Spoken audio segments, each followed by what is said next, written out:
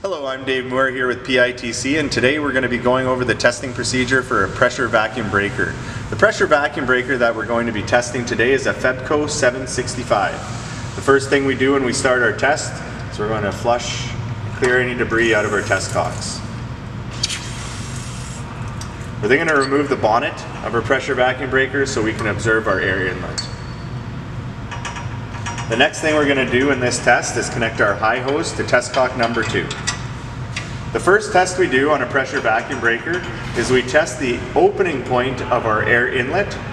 Our air inlet must open before 1 psi because the spring tension that we have on our air inlet valve is a one pound spring minimum.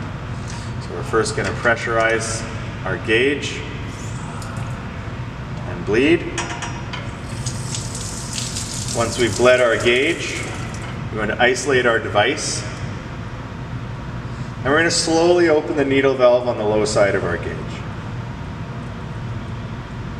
We're then going to observe the pressure at which our air inlet valve opens.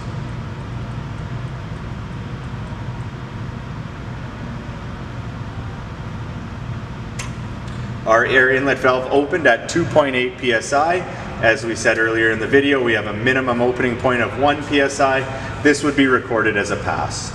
We're then going to close our test cock, remove our high hose from test cock number 2, and place it onto test cock number 1.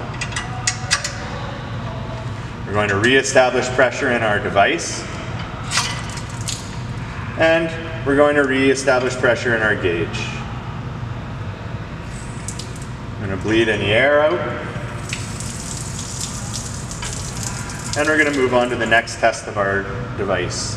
The next test on a pressure vacuum breaker is testing our check valve in forward pressure or our pressure differential across our check valve. We do this by opening up test cock number two.